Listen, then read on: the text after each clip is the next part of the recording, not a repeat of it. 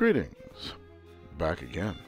Today I want to talk about the Noodler's Ink Neponset fountain pen and the journey that I have taken with this pen. This pen's been reviewed by plenty of other people before me, but let's just go over it briefly as it is a very classic looking pen.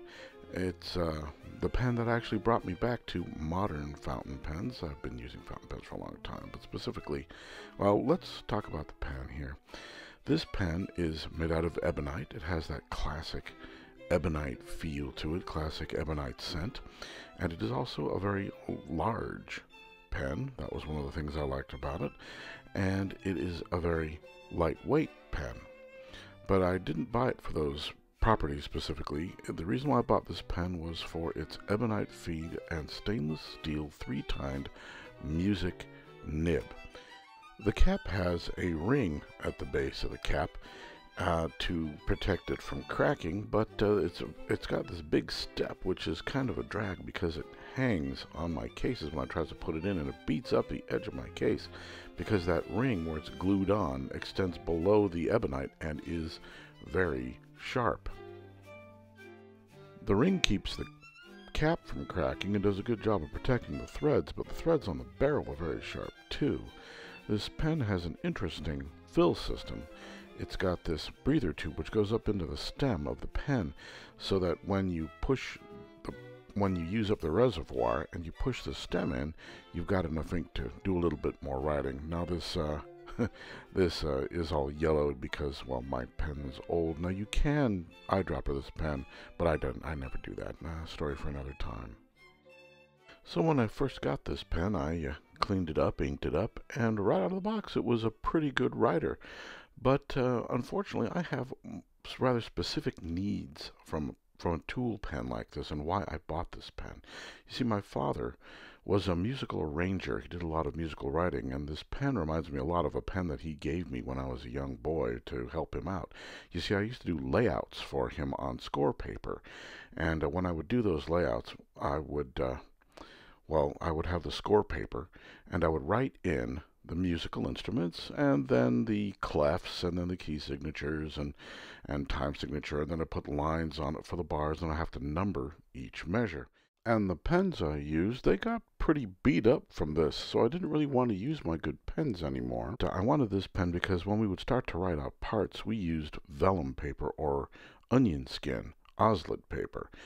Now the Ozalid paper is very aggressive and abrasive, and we had to also use very stable inks like uh, document inks because this machine had to go in and it was going to be exposed to water and ammonia for the Ozalid process.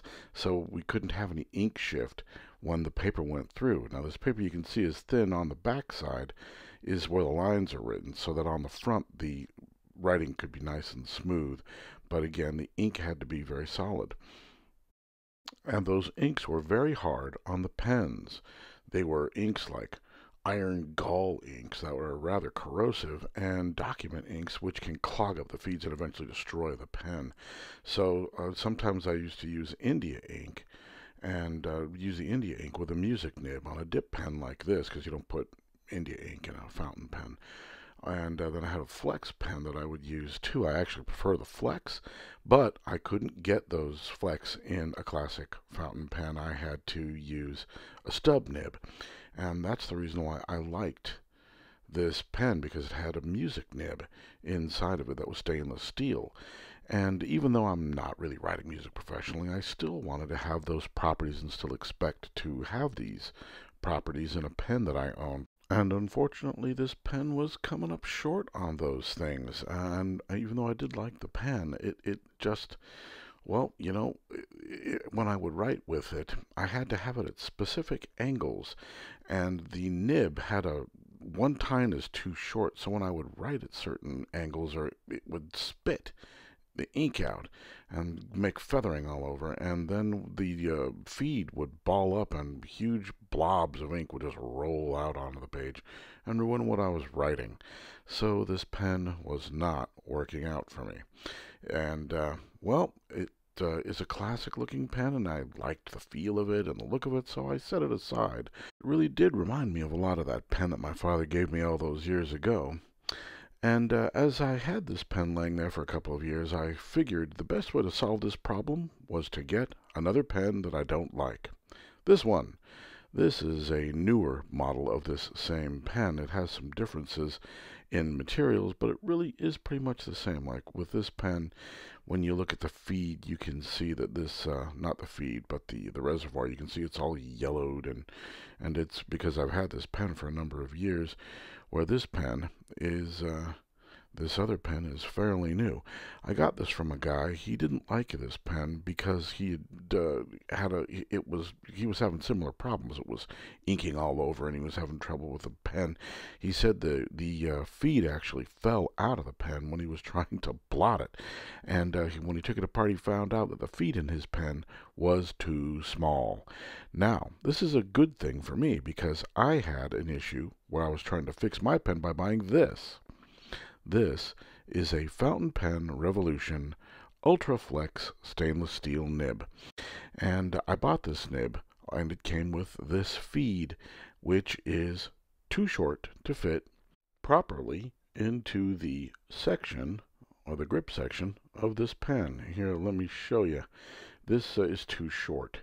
And let me take this pen apart and you can see it's got this vent tube which is specific to this pen for the fill system as well, but you can see that this one is is definitely shorter than the other one. You can see a little vent tube sticking out, and you can see how this one is a little shorter. But these, these are like they could have come from the exact same blank. And when I lay them over, you can really see they have the same contour along the edge, and they're the exact same length. So uh, this seemed like a great opportunity for me to be able to figure out how I could replace that and just wipe this away and uh, get a feed that was more the proper length with the vent tube on it. And the fellow that I would talk to with that pen, he wanted to get rid of it. He didn't want it at all, so I basically just had to pay him for the shipping. And uh, I was able to get this nice black ebonite Neponset pen, and I put an FPR Fountain Pen Revolution nib on this and with the original feed. This feed is still a little short and you can see it meets at the shoulder but it seems to work just fine. And these go to a different pen so I'm just going to put those aside. But the pen works fine. And so uh, these threads are a little wonky on this one too. And you can see that this pen needs to be inked but I'll push in the plunger which has ink in it and we'll just see how far we can get with that little extra pen uh, ink in the reservoir from the stem. So you can see the shoulders are still a little short, but the pen works pretty well. So let's give it a try. I'm going to speed this up so we don't have to labor through my writing. And this again is the Neponset with uh, Fountain Pen Revolution Ultra Flex. And you can see I get some good line variation when I'm drawing my G clef here. The pen, of course, is running dry because it's out of ink, but when I draw a treble clef or a bass clef, and then I can draw the alto clef, and uh, I get good line variation. And I always liked using flex pens, but when I was writing back in the uh, 80s and 90s, only people who made flex nibs for fountain pens, they were either very expensive or they were very old. And I didn't want to spend a lot of money on a tool pen, and I didn't want to destroy a classic antique pen. So this is a, great, a great alternative. And you can see the pen is pretty much out of ink now. But uh, by doing this, I took two pens and uh, actually ended up with a good pen. I took the nib that I got from the short feed pen, I put it into this other pen, and now this nib writes much better. So I ended up with two good pens for the uh, trouble of uh, waiting a couple of years. Now, would I recommend these pens to anybody? I don't think I would. And the reason why is because I have two pens and some iffy quality control, which led me to not have a good pen until I had one and a half pens and I added this uh, other nib. And so, uh, you know, again, I have very specific reasons why I want these pens because out of the box, again, if you're just doing writing, they write fine. But I have specific needs that I want to be able to do with my pens, and so these are tool pens for me. And, uh, you know, this is my Jinhao. You can just see the size comparison. I bought these two pens at about the same time. This pen has subsisted on a, on a diet of platinum carbon ink and has never given me any trouble. And now that I've got these two pens working, I'm pretty happy. So that's it.